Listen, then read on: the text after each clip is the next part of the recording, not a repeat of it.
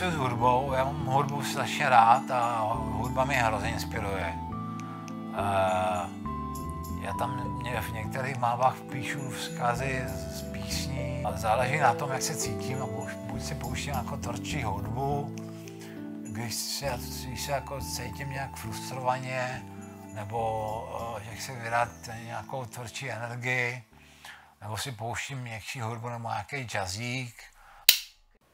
Tak já se jmenuji Christian Lisko, lidi nebo moje přezdívka je Kristo, to mi dal kamarád v roce 2009, když jsem podepisoval obraz Christian de Lisko Velega, což je moje celé jméno.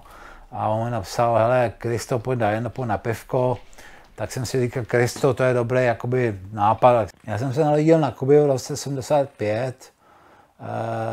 Po roce mě vlastně genetický otec odešel, nebo se rozvedl s mámou a potom se matka seznámila s, s Čechem, který tam pracoval a v roce 87, když mi bylo 12 let, tak jsme se přestěhovali do Prahy za dobu tehdejšího Československa. V roce 85, něco takového, jsem chodil na krože kreslení na Kubě. My jsme se tam učili vlastně se jakoby stínovat a tak, a zátiší a takové jakoby normální věci.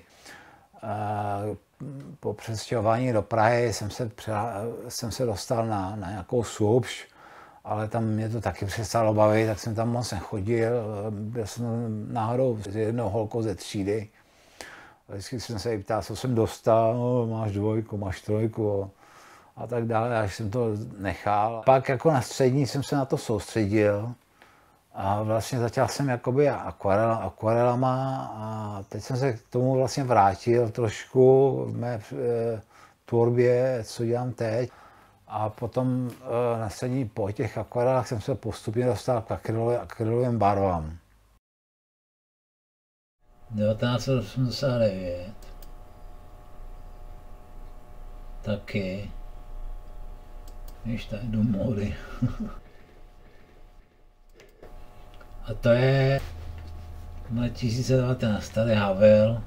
V roce 89 jsem se nafotil sametovou revoluci svým starým Zenitem, ještě na, na, na kinofilm. V roce 91 se stěhuju do státu za, za tátou, za genetickým tátou, který tam mezi tím emigroval.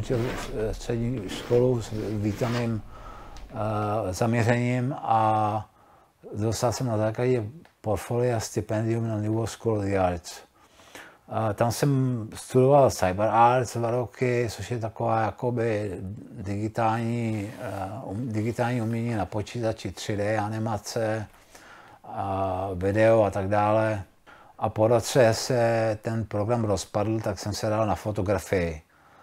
Po třech letech studia mi to přestalo všechno bavit a rozhodl jsem se jít eh, vlastní cestou, tak jsem začal pracovat a pracoval jsem do roku 2003 jako webdesigner.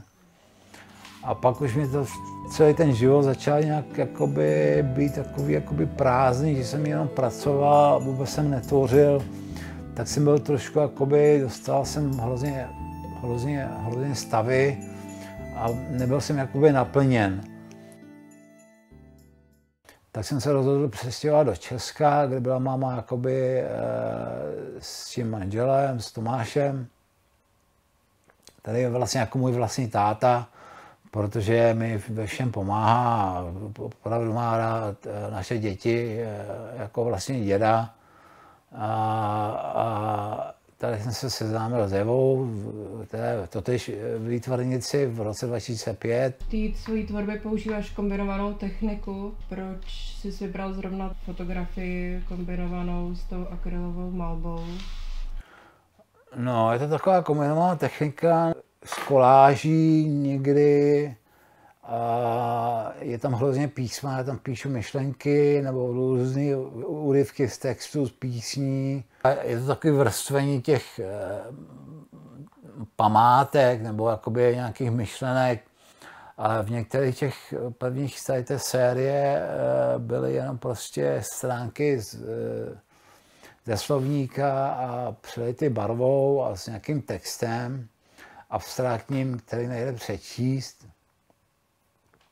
Protože mě text vysoké školy, kde jsem se seznámil s několika designérama, mě zajímá.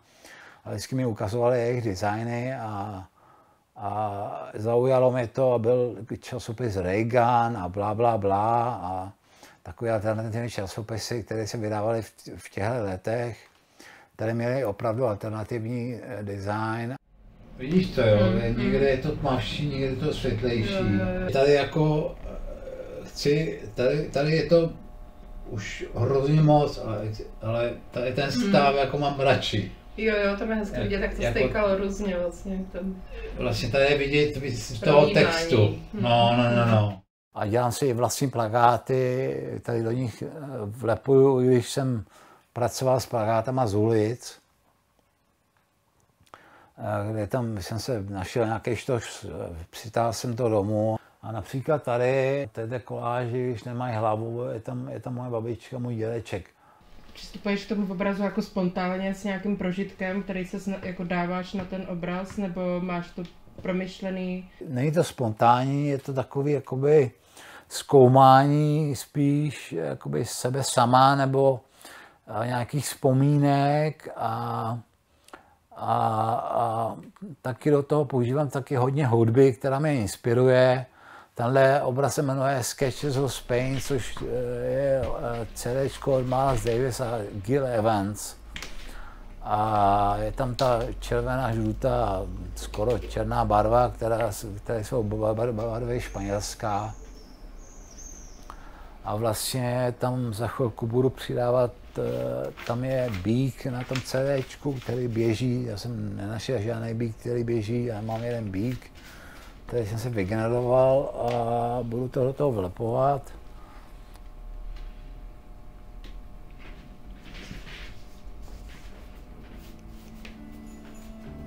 Ta duševní nemoc bylo to něco nového v mé rodině.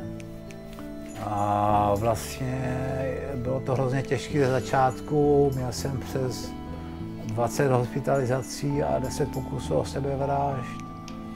A protože s tou nemocí, já jsem bipolární teda, a teď mi to zvýšilo na schizoafektivní poruchu, což je jako něco, jako, jsem si to vyhledal, je to něco jakoby, že, že se hrozně člověk poškozuje,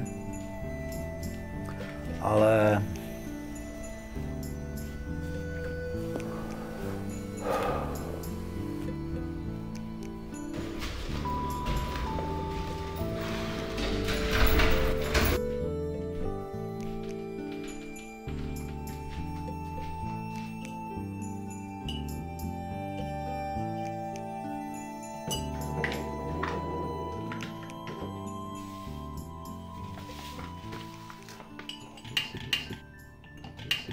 ta nemoc eh, na tebe z začátku, než se s ní eh, dokážeš jakoby seznámit, tak na tebe účuby působí různýma způsobama, kterýma si musíš projít a pak si říct, jo, to tady už bylo předtím, tak to, tak to budu ignorovat a dokud, dokud to nemáte zpracovaný. A, a taky záleží na lékách, na lécích, které berete, že to musí být jako opravdu že si člověk eh, projede několik hospitalizací, než najdou ty správné léky.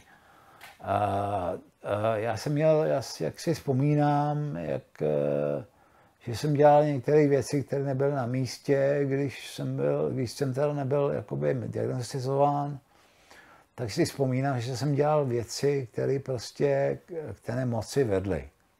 Jo, takže tak. To bylo nějakých 20, 24, 25. Ty hospitalizace byly nejenom v Americe, ale i tady. Protože Eva třeba, když byla těhotná, tak jsem měl, tak jsem měl nějakou epizodu, a, ale e, bylo to v, v obojích zemích. Jakoby. Ale rozhodně ta kvalita té péče v Americe není tak jako e, vývojovat tak jako tady. Oni všichni tady říkají, že, že prostě že nestačí, že tohle a tamto.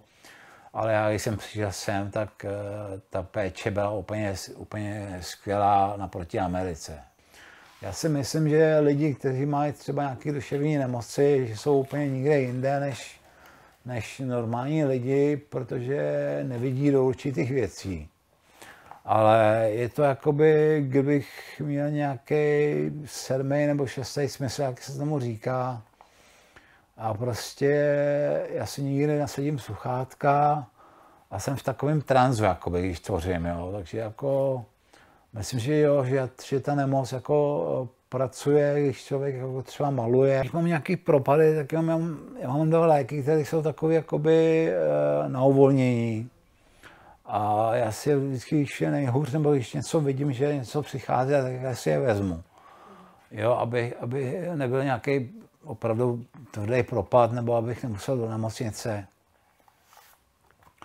A většinou se z toho vyspím. Většina lidí, kteří trpí nějakou eh, psychózou nebo tak, že se snaží uh, jakoby tvořit, a že je to, uh, ale nemusí to být jenom, jenom tvorba, může to být třeba tanec, nebo kde se člověk může jako vymlátit z toho, jakoby z těch Například já se cítím někde, kde chci zajít na zahradu a zařvat prostě jako z plných plic, prostě protože člověk je frustrovaný, ve stresu a prostě jako uh, už by to nedával, už by lidi skočil z okna, ale prostě z toho okna neskočím, tak aby si našel někdo, kdo trpí nějakou duševní nemoc, aby si našel nějaké hobby nebo nějakou nějakou věc, kterou opravdu baví, třeba psaní poezie, to je taky zajímavé.